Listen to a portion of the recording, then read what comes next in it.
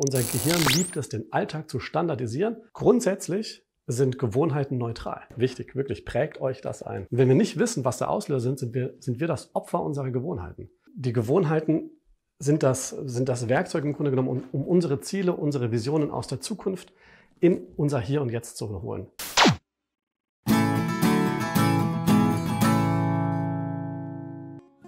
So, moin Leute. Ähm, ich komme hier vor wie der letzte Oberlehrer gerade.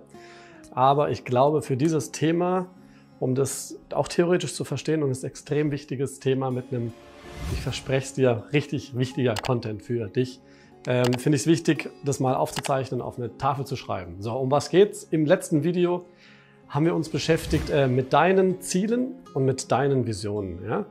Ähm, wir sind genau durchgegangen, wie kann man genau Ziele definieren, was ist wichtig, wenn man seine Vision findet, was gibt es für Glaubenssätze, die dagegen sprechen können und so weiter und so fort. Ich will gar nicht wahnsinnig weiter darauf eingehen, was mir nur wichtig ist. Wenn du heute das Maximale aus diesem Video ziehen möchtest, äh, solltest du auf jeden Fall deine Ziele, deine Vision ganz klar vor dir haben. Das ist Grundvoraussetzung, wirklich um das 100% hier rauszuziehen. Oder du schaust dir einfach das letzte Video nochmal an. Ähm, genau, gehst einmal die Schritte dort durch und hast dann deine Ziele und deine Visionen ganz klar vor dir. So, ich gehe jetzt mal davon aus, du hast die Ziele und Visionen klar vor dir. Problem ist bei unseren Zielen und bei unseren Visionen, ähm, die wabern da wunderschön in der Zukunft vor sich hin. Ähm, sie geben aber keine, ja, sie geben keine klaren Handlungsanweisungen für unseren Alltag. So, umso größer die Ziele, umso größer die Vision, umso größer letztendlich auch die Schritte eigentlich, die wir gehen müssen. Was ist das Problem bei großen Schritten? Wir gehen entweder gar nicht erst los und wenn wir losgehen, äh, genau, kehren wir halt viel zu schnell wieder zurück. Deswegen geht es mir heute in dem Video darum, dass wir aufhören, ja, im Konjunktiv im Grunde genommen zu leben, sondern wirklich unsere Ziele, unsere Visionen zu unserer Identität machen, in unseren Alltag holen und im Hier und Jetzt auch wirklich schon diese Ziele umsetzen. Und wir machen uns zunutze, um das zu erreichen, die Macht der Gewohnheit. Und es ist tatsächlich, das ist glaube ich nicht übertrieben zu sagen, es ist wirklich die Macht der Gewohnheit. Genau, aber darauf gehe ich gleich ein. Der Trick ist es, jetzt eben deine Ziele, deine Vision zu nehmen, zu ganz kleinen Handlungsschritten runterzubrechen und dann diese kleinen Handlungsschritte als Gewohnheiten in deinen Alltag zu implementieren. Um diese Macht der Gewohnheit wirklich nutzen zu können, ist es wichtig, dass wir nicht länger Opfer unserer unbewussten Gewohnheiten sind, sondern dass wir wirklich das ganze Potenzial von Gewohnheiten, was Gewohnheiten tatsächlich hat, auch wirklich für uns nutzen. Und um das für uns maximal nutzen zu können, müssen wir uns genau und leider auch etwas theoretisch einmal mit der Beschaffenheit von Gewohnheiten auseinandersetzen. Und dafür werde ich mich mit fünf Fragen in diesem Video auseinandersetzen. Oh Gott, ich habe schon früher mal gehasst, an die Tafel zu gehen, irgendwas zu schreiben. Weniger, weil ich es nicht wusste, was auch manchmal der Fall war, sondern mehr wegen meiner schönen Handschrift und wegen meiner großen Schwester, die sich immer lustig darüber gemacht hat. Also deswegen bleiben wir bei wenigen Worten. Meine erste Frage ist, die ich beantworten will, was genau sind eigentlich Gewohnheiten?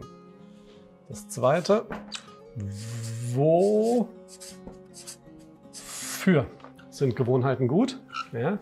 Das dritte, und das ist das Entscheidende, ähm, welche, nee, das ist mal ein Fragezeichen dahinter, welche Eigenschaften haben Gewohnheiten eigentlich? Ja. Das vierte ist der Grund, dass warum spricht man überhaupt von der Macht der Gewohnheit? Was ist eigentlich diese Macht der Gewohnheiten? Und das fünfte und entscheidende ist, zack, wie können wir diese Macht der Gewohnheit für uns nutzen? So, das sind die fünf Fragen, die ich beantworten möchte. Ich verrate jetzt schon, das Video ist eine kleine Videoreihe von wahrscheinlich drei Videos. Ähm, heute genauer über die Beschaffenheit der Gewohnheiten. Äh, nächste Woche ja, wahrscheinlich, wie man sich Gewohnheiten ja, überlegen kann und, und implementieren kann, neue Gewohnheiten. Und im dritten Teil, wie man schlechte Gewohnheiten oder alte Gewohnheiten ablegen kann oder ersetzen kann.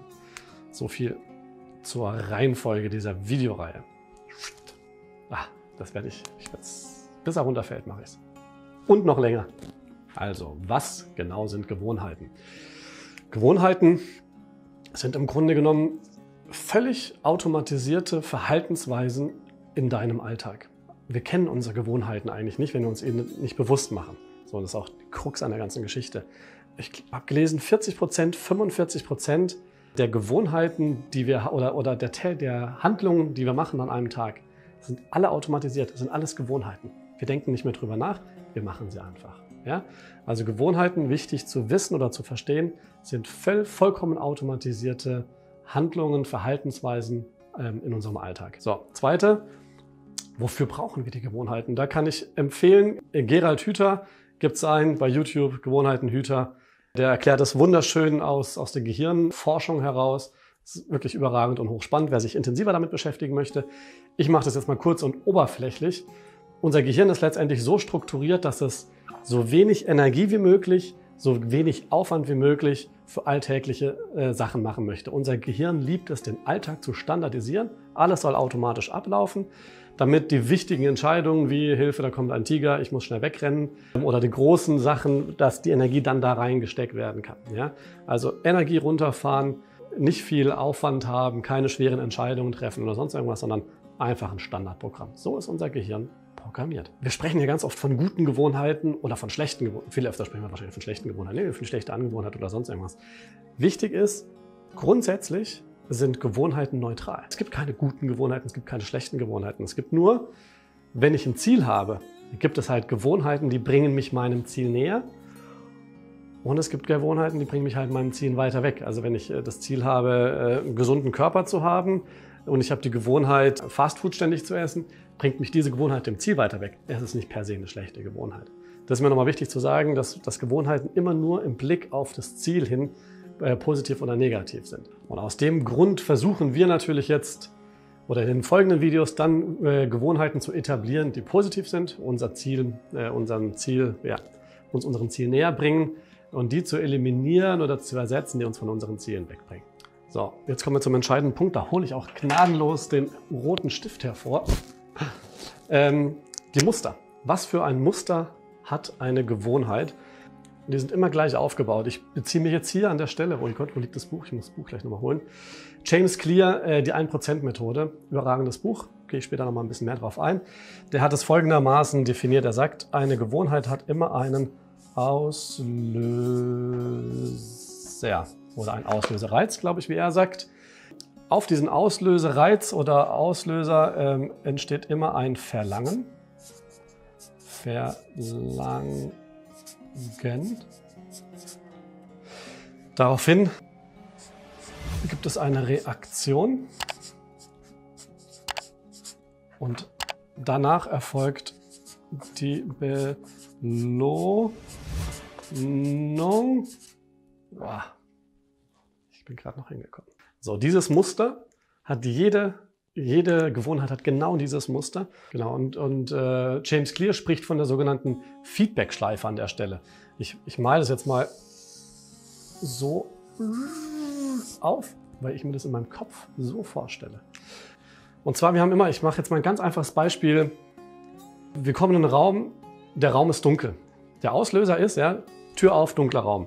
Unser Verlangen ist sofort, völlig automatisch, oh Mist, ich will sehen. Ja, da, da denkst du ja nicht drüber nach. Und was machst du? Was ist deine völlig automatische Reaktion? Du suchst den Lichtschalter und drückst drauf. Völlig automatisch. Und äh, die Belohnung ist natürlich, dass wir sehen können. Wenn du jetzt mal vorstellst, du würdest auf den Lichtschalter drücken und der würde nicht angehen, weil wir nie Strom hätten oder weil die Lichtschalter nicht funktionieren würden, du würdest mit Sicherheit ganz schnell wieder aufhören, auf Lichtschalter zu drücken, die nicht angehen. Also naja, stimmt nicht. Ich mache manchmal die gleichen Lichtschalter an von dem Licht, das ich nicht repariert habe. Aber so krass ist die Gewohnheit. Die muss erstmal wieder raus. Aber ihr habt das Prinzip verstanden. Also, oder wenn, oder Zähne putzen zum Beispiel ist auch so. Ich stehe morgens auf, aufwachen, schlechten Geschmack im Mund. Mein Verlangen ist sofort Geschmack verbessern. Meine Reaktion ist Zähne putzen. Die Belohnung ist, einen guten Geschmack zu haben. Genauso jetzt mal negative, oder was heißt negativ? Rauchen zum Beispiel. Auslöser, Ganz oft Stress, würde ich behaupten. Das Verlangen ist Entspannung, Durchatmen, äh, sich einen Moment nehmen, was anderes denken. So, das ist wahrscheinlich das Verlangen dahinter. Die Reaktion ist Kippe auspacken, anzünden. Die Belohnung ist tief durchatmen. So, das ist eine ganz, ganz starke Gewohnheit. Und es ist immer wieder das gleiche Muster dahinter. Wichtig, wirklich prägt euch das ein. So, die entscheidende Frage ist jetzt, warum sprechen wir von der Macht der Gewohnheiten. Und ich verdeutliche es dir und dann haben wir dir klar sein, warum das wirklich eine Macht ist, die die Gewohnheit hat. Wie gesagt, unsere Gewohnheiten laufen normal vollkommen unbewusst ab. Ja? Wir wissen nicht genau, was unser, was unser Trigger war. Was war der Auslöser, dass ich jetzt schon wieder einen Keks gegessen habe? Was war der Auslöser dafür, dass ich heute keinen Sport gemacht habe? Was ist der Auslöser für so viel Alltägliches, was ich tue? Und wenn wir nicht wissen, was der Auslöser sind, sind wir, sind wir das Opfer unserer Gewohnheiten. Und das Krasse ist, diese Gewohnheiten sind letztendlich ein Riesenteil von unserer Identität. Also meine Denkgewohnheiten ja, sind ein großer Teil von meinem Wertekonstrukt, von meiner Einstellung. Das, was ich wiedergebe, dafür, wofür ich stehe, hat ganz viel mit meinen Denkgewohnheiten zu tun. Was ich, was ich, was ich als Idee bekomme, ist eine Gewohnheit in mir und macht meine Werte aus. Oder meine emotionalen Gewohnheiten, wenn ich, wie ich, wie ich emotional auf gewisse Dinge reagiere, ist ein Großteil von meinem Charakter. Die Kunst ist jetzt, und deswegen ist dieses Warum so wichtig, die Bewusstwerdung oder das, die Bewusstheit wieder zu erlangen über unsere Gewohnheiten und dann ganz bewusst diese Gewohnheiten, die wir nicht wollen, ersetzen durch Gewohnheiten, die wir wollen oder ganz neue Gewohnheiten in unser Leben reinholen. Und auch die Macht der Gewohnheit, du musst dir überlegen, wenn du, ja, wenn du einfach nur anstatt, keine Ahnung, zu rauchen zum Beispiel, zehn Minuten laufen würdest. Was für eine unendliche Veränderung hättest du in einem halben Jahr. Jeden Tag, anstatt der Zigarette zu rauchen, zehn Minuten rausgehen zu laufen. Also das ist das Krasse und das ist diese 1%-Methode von James Clear auch. Du hast tagtäglich eigentlich nur eine relativ kleine, dann sagt er 1%, du veränderst eine Sache jeden Tag um 1%, ist jeden Tag eigentlich eine kleine Veränderung. Das Ausmaß der Veränderung, wenn du es wirklich zu einer Gewohnheit gemacht hast und wirklich lange durchziehst, ist gigantisch. Und ich glaube, das ist nicht übertrieben. Das ist wirklich, das ist wirklich so. Und jetzt ist natürlich die Frage, wie können wir die Macht nutzen, dieser Gewohnheiten für uns? Und das ist ja, wie ich gerade schon ein bisschen erwähnt habe, wir müssen uns strukturell und mit System erst einmal unserer Gewohnheiten bewusst werden. Welche Gewohnheiten haben wir? Welche Trigger haben wir? Wie belohnen wir diese? Welches Verlangen wird ausgelöst, ausgelöst und welche Reaktionen kommen da? Genau, ich habe James Clear als das eine Buch, was ich empfehlen kann. Das andere Buch ist von oh, Charles Duhigg, glaube ich. Charles Duhigg, Die Macht der Gewohnheit. Und der nimmt den Teil raus und nennt den die Routine. Also kann auch sein, dass euch das in anderen Videos begegnet oder in anderen Büchern begegnet. Das ist die Routine, die wir uns antrainiert haben. Das Verlangen, was ausgelöst wird und die Reaktion darauf, die wir machen. So, um einen kleinen Ausblick auf das nächste Video zu machen, wie wir uns neue Gewohnheiten antrainieren können. Wir müssen uns bewusst werden, was unsere Gewohnheiten sind. Wir müssen uns bewusst werden, wie wir Gewohnheiten etablieren können, welche Eigenschaften die Gewohnheiten haben, damit sie so einfach in unser Leben kommen wie alle negativen Gewohnheiten.